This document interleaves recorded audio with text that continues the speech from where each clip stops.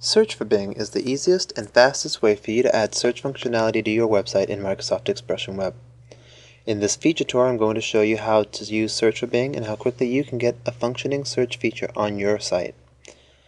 Search for Bing uses Microsoft's Bing search engine to provide your site's search functionality.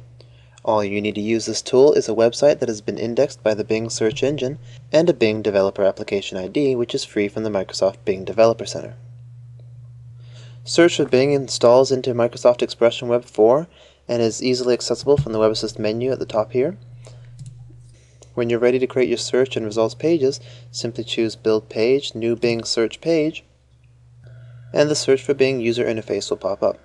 This is a single user interface and all you have to do is complete these fields and your search and results pages will be created. First I'll enter my Bing App ID which I got from the Bing Developer Center. And then I'll specify what domain I want to search.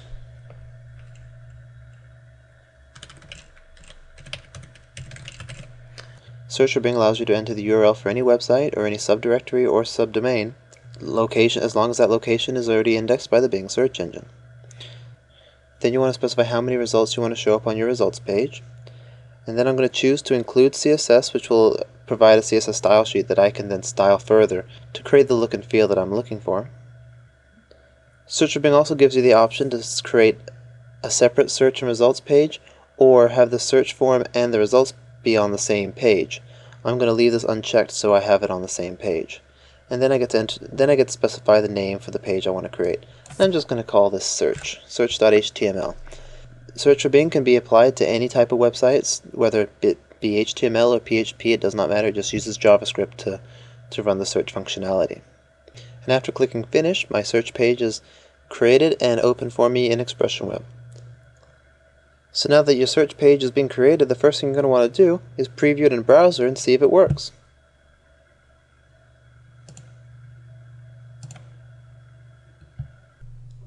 So when the form opens in my browser, I'm going to type a quick search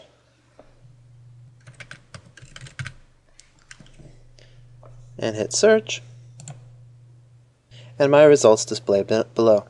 Now you may say this looks rather plain and boring, but this is complete CSS, so you can apply any styles you want. If you're already using a if you're already using a website template, you can apply that template to this page, and it'll take on the styles that are defined by your template. You'll probably want to apply your own template to the search page, so I'm going to show you what it looks like after I've applied mine. So I'm going to choose my template, and it is applied to my page. So once I've applied my template, here's what my search page looks like. And after making some modifications to the CSS, my final search page looks like this. So that's about it for Search for Bing. It only takes a few minutes for you to have a complete search feature on your website. I hope you enjoyed this feature tour. For more information, check us out at webassist.com.